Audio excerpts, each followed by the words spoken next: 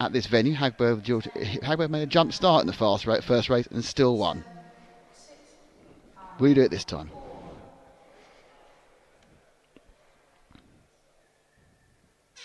And they're away. Clean start by everyone. No real changes. I think Stephen Moe got knocked down a couple of places, but it's straight away. It's the two X-rays that go ahead, and it's Hagberg from Jefferies, the white car of Hagberg. Uh, his normal green and white bodies, he's run out of them, he says.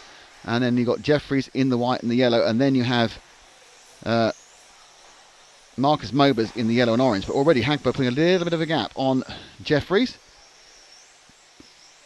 But he has to run clean, and Jefferies is dropping back.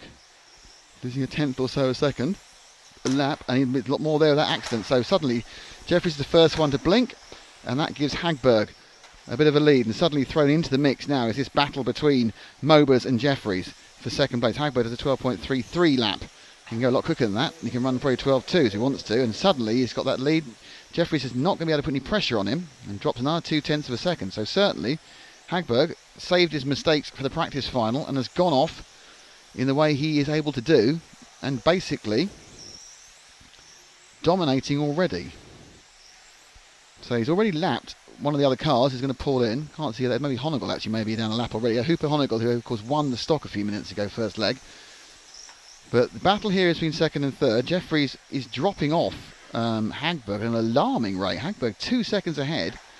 But then there's one lap where Jefferies has gone as fast as Hönigl. And he's now made a mistake as well. So it's now Mobers in second. He gets bullied back by Levin as well. So this is not going to be Jefferies. Jefferies' Christmas card list is not going to include Juho Levänen now. As Levänen now fights to catch up with um, Mobers, but they are all a long, long way away from Hagberg. We With Mobers, it's dropped back one to Levänen, the blue and white associated car. Finn never really got qualifying together. And hence the reason he started down in fifth. He was always there or thereabouts. He was often on for a really good time and then just threw it away. Now, as it stands, Hagberg has a lead over Mobers of 2.3 seconds. So interesting, since Mobers got past got past Jeffrey, he's not lost any more time. Jeffrey's now in fourth. Were with him third. Just going out frame is the uh, yellow and orange Mobers machine. Just tell you now that the white car of Hagberg having no problems whatsoever. 225 down, 534 to go. All the gaps are on the right. As you can see, it's that top four. Vogel in fifth, Sadler in sixth, Stars in seventh. Lost Hönigl. Anderson, who's uh, in the A of this, in the C of the uh, stock. And it's all got very static at the moment. All the drivers now, after a kind of a start where Jefferies really didn't have the car good at the start and dropped back and got bullied back to fourth. Gap's staying relatively constant, still 2.6 seconds to Mobers. Got a broken car four, so we lose Stadler. That's the second car out of the main, A main. So Stadler and Hönigl have gone. Another car makes a massive smash. That's Anderson having a huge crash, and people are scuttling to try and do something about it. Let's move forward to our leader. Matt, he's the white car underneath you now. And we'll just see how he deals with the traffic that's coming up, which is uh, um, Daniel Sieber and Mark Stiles, who are battling themselves for 6th and 7th. Well, 7th and 8th, actually. No, it was 6th and 7th, on the right first. So the white car, that's our leader. He's actually lost half a second to Mobers, but I'm sure that's probably not a, worry to him. He's 2.6 seconds as well. So Mobers is finding some speed, but is he going to find speed enough? Now, at this point, as uh, lets him through very easily, Stiles will let him through next. And the X-ray of Hagberg comfortably keeping ahead, almost exactly to the thousandth. In fact, he gains two thousandths of a second on uh, Mobers there with the CRC. Off camera, we've lost Levänen as well. So Levänen's broken his car off camera. So Jeffrey moves into third. So there's a few slap bangs, and it seems it's such an unforgiving track that you don't come back for it. So Levänen, Stadler, and Hönigl qualifies four, five, and seven are already out with mechanicals. So extra points for everyone else in the game, but the main points are is number one. Oh, that was hard. And uh, Alexander Anderson has got a fastest lap of the time. I'm not sure if that's an accurate count, but he may have just pulled a, a perfect one out. But even so, driving with himself is our double European champion. Remember, this is the man who's won the last two European championships.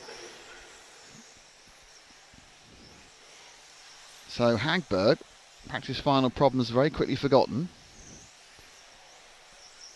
And things are looking up for the Swede, who's standing on a box, even though he doesn't need to on the rostrum. I mean, you have to say Mobus has kept him honest in this one, but unfortunately from a distance it's not putting under any pressure. Still just over under three minutes to run.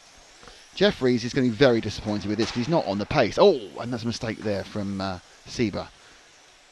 So Jeffries really not on the pace. Hagberg trolling around doing laps. Let's uh, let's drop back and see if we can find a bit of Jeffries. He's on the main straight now, going through the the uh, the maze. He's in third, but car not really working to his liking. He's not done any laps, which you know he's really not done anything. His best time is 500ths back, but he's losing tenths here and tenths there. And the car, I don't know whether he's mentally just not that bothered anymore because he's third and he can't see himself catching up Hagberg, but he's a long, long way away. But he's so far behind Hagberg. And Mobus now has dropped back to 3.3. I think that's a bit of traffic issues. As he completes the lap now, Jeffries is eight seconds back, so he's two thirds of a lap behind him. And that has been a couple of accidents, yes, but mostly just from not being as fast in individual laps. And, and Jeffries won, inverted commas, the practice final. So, yeah.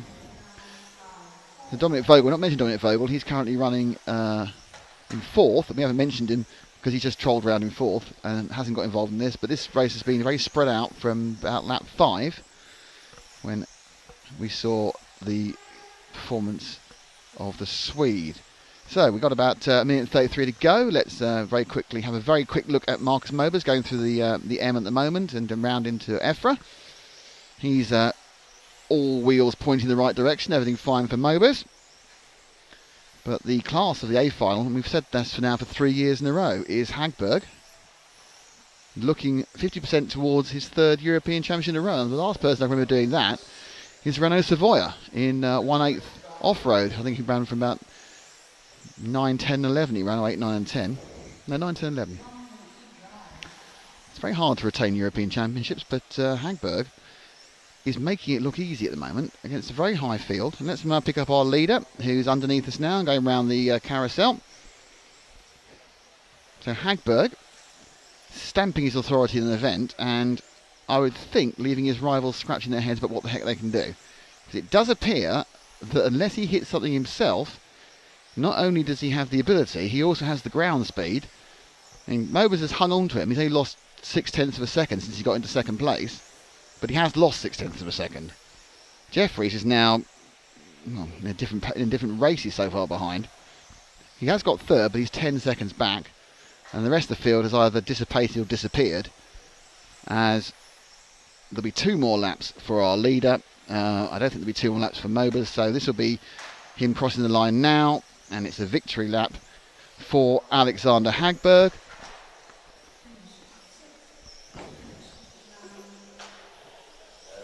And that's taking him over. Just two more corners to go, and Hagberg will be the winner, which you can't really deny. So great work there by Hagberg.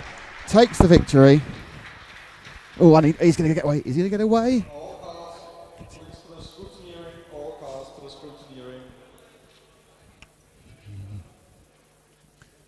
So we've retained Alexander Hagberg. Well, Alex, that um, when you open a book and you look in the word textbook victory, um, they'll have your eight minutes races there. That was a great run. Yeah, to be honest, the nerves got the better on me in the practice final, so I just tried to take it easy and control the race, so it went pretty well. And is the car set up exactly the same as yesterday, or were you fiddling with overnight to change it at all? It's the same setup that I ran in Q6, but I thought the track had a little bit less grip today, so maybe I will adjust something to accommodate for that. So you're halfway through to your third consecutive European Championship. Does that mean the nerves go down or the nerves go up? I mean, my car is really good now, so that gives me more confidence coming into A2 actually.